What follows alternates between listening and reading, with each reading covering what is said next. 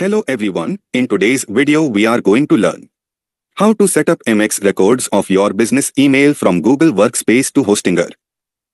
To begin with this, you have to log in to your Google admin dashboard first. Now, go to the dashboard and look for domains. Now click on Overview and click on Manage Domains. Here, you have to select your domain and click on Activate Gmail. Now choose Setup MX Record and click on Next. Now in the new interface select both the checkboxes and click on Continue.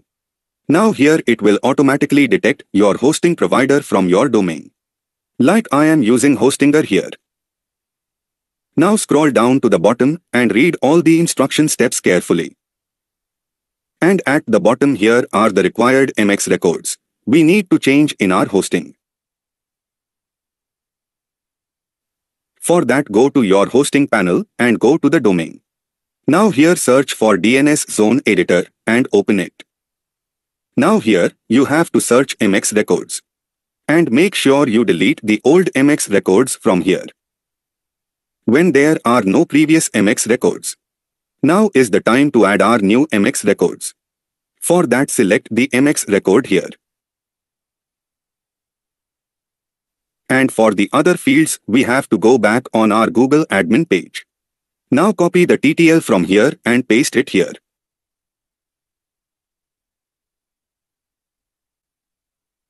Now we have to enter this mail server first. So, copy this and replace with the earlier one. And replace the priority 5 with 1. Now check everything again. And click on Add Record. See, DNS record created successfully. Now input the data of the first row from the table.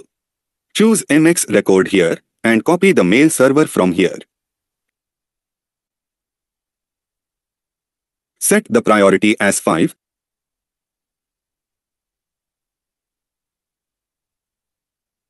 And update the TTL as 3600 and paste.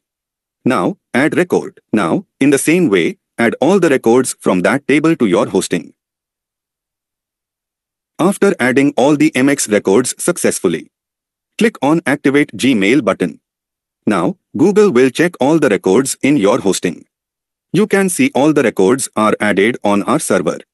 Now it will redirect to your domain. And you can see that your Gmail is verified and activated. Hope you enjoyed this tutorial.